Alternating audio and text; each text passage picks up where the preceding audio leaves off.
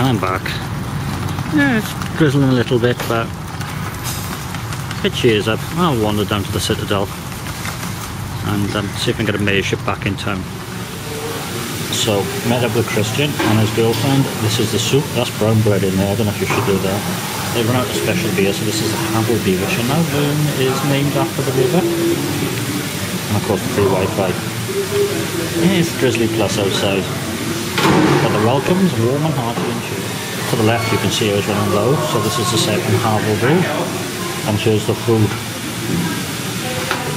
Ich bin aus Berliner. Ich bin ein Berliner.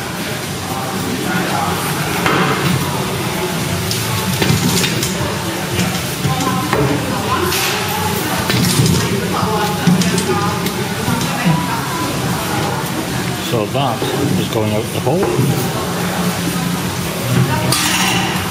Oh, in a wheelie bin. Yeah.